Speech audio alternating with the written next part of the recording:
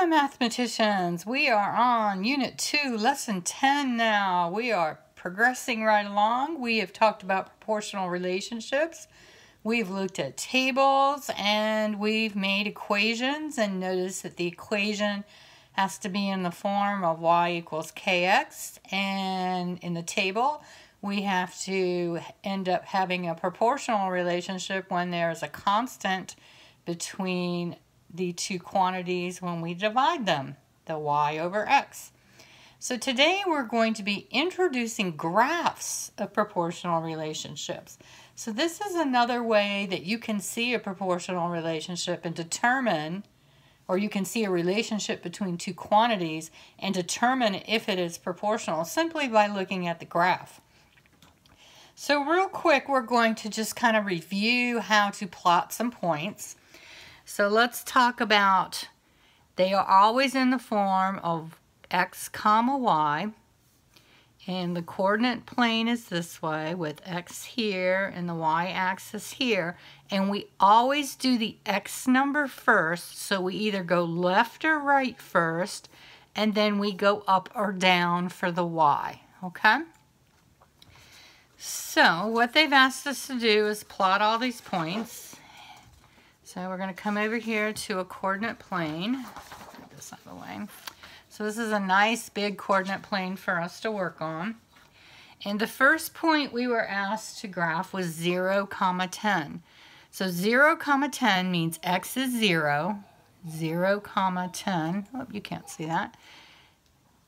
That means this is x and this is y. So we're going to go we're going to start at 0, 0. And does anybody remember what 0, 0 is called? That is the point of origin. So we're going to start at the point of origin. We're going to go to the right 0. So we're going to stay at 0. And we're going to go positive 10. So we're going to go up 10. And we're going to put a point here. And then we're going to label that point 0, comma 10. All right, so what I want you to do is I want you to try the next ones and see if you end up in the same place as I am. So stop the video and you plot all those points. All right, so let's check your work. The next one is 1 comma 8. So I'm going to start at the point of origin. Go 1 to the right, go up 8. Put a dot there, label it 1 comma 8. Remember this is my x, this is my y. The next one is 2 comma 6. So start at my origin, go to 2, and I'm going to go up 6, 2 comma 6. The next one they asked us to do is 3 comma 4. Start at my origin. I always go left or right first. It's a positive 3. And then I'm going to go up 4. So that's 3 comma 4. And then we had 4 comma 2, so 4 comma 2 up 2 is right here. Alright, so they ask us, what do you notice about the graph? Well, what do you notice? I notice that these points line up and I could draw, if I had a ruler, which I didn't bring a ruler with me. If I had a ruler, can I connect these dots? Oh, I could. Okay, that means those points make a line, so that is linear. So it is linear. What else do you notice? Well, as x increases, as the value of x gets bigger, what does y do?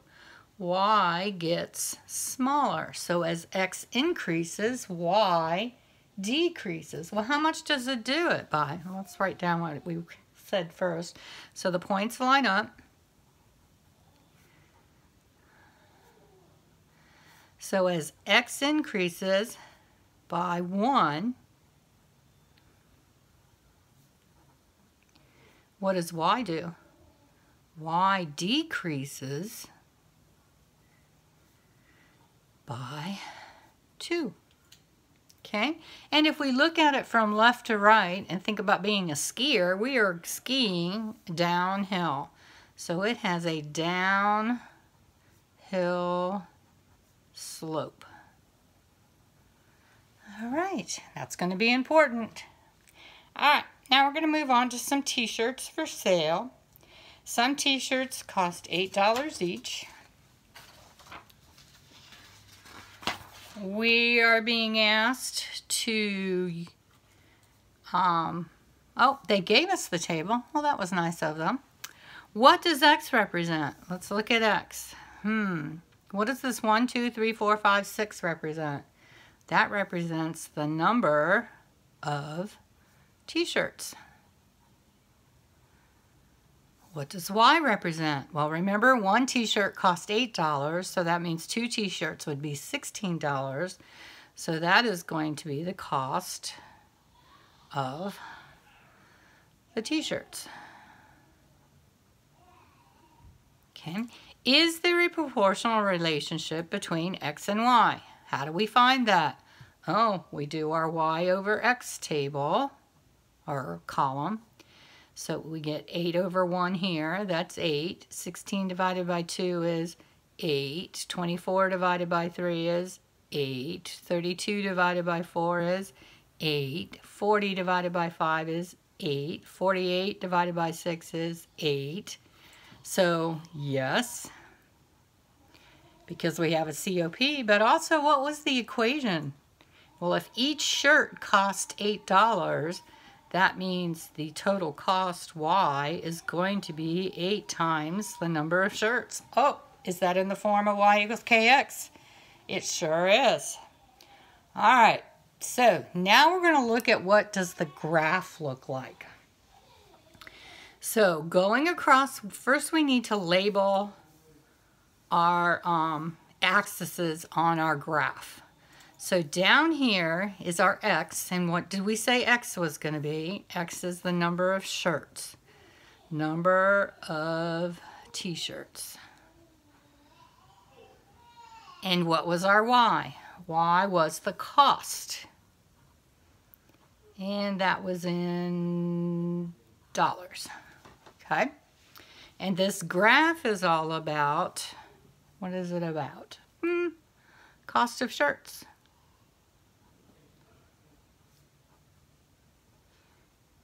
Okay, so we got to give our graph a title and we have to label the two axes.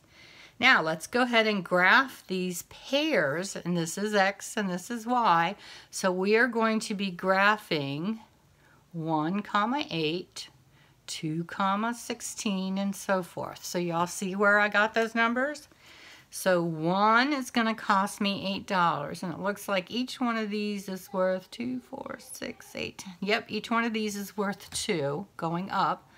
So one shirt costs $8. So one, two, four, six, eight. So here is 1 comma 8. Two shirts cost $16. So this is 2, 4, 6, 8, 10, 12, 14, 16. There's two shirts. Costs $16, so that point would be 2 comma 16. 3 would be 3 comma 24. 3, here's 24. 22, 24. 3 comma 24. Then we are doing 4 comma 32. So we'll find 30 and then that's 32. 4 comma 32. And then we're doing 5 comma 40 is right here. And the last one is 6 comma 48. So if this is 50, this is 48. Whoops. Let's look at this. This is 50. This is 48. There we go. Lost my line going across. Okay. Now, what do you notice about the graph? Do you notice that it's linear? I can draw a straight line. Do you notice that as x increases, y increases as well? When x increases by 1, y increases by 8. Okay. If I were to draw this line, connect the dots. That's what makes it linear. Where does it start out at? It starts out at the point of origin, 0, comma 0. Okay, it's going uphill this time. Okay, if you're thinking looking left to right, as a skier, you would be going uphill. All right, so as x increases by 1, y increases by 8. All right, so what you were going, that's it for today's lesson. This next activity, matching tables and graphs, we're going to do that tomorrow on the asynchronous day. I made an activity for you to do that. So don't worry about that. We are going to jump to, well, we can jump to this, are you ready for more? All the graphs in this activity show points where both coordinates are positive. Would it make sense for any of them to have been, have one or more coordinates that are negative? Well, let's go back and look at what we started with. This was the cost of shirts. Can we buy a negative shirt? No. So that's why everything in this one was positive. Um, if we go back to the first one, we weren't told, we were just told to plot some graphs. But what could the relationship be here? Hmm. If I run for, I don't know, maybe you could think of one because the y is decreasing. So that one's a little bit different. All right. And then all the graphs that you do in the activity, they are all going to be positive numbers as well. So I want you to think about that as you look at the um, tables and the story that goes with the table. All right, so one way to represent a proportional relationship is with a graph. Here is a graph that represents different amounts that fit the situation. Blueberries cost $6 per pound. So this right here is your x-axis is the weight in pounds. The y-axis is the cost in dollars. So 1 comma 6 means 1 pound of blueberries costs $6 because the 1 is the X and that's the weight in pounds and the 6 is the Y and that's the cost in dollars.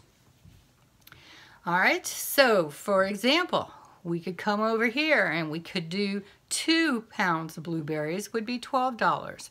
Now, sometimes it makes sense to connect these lines like this one is connected because can we buy half a pound? Can we buy three quarters of a pound?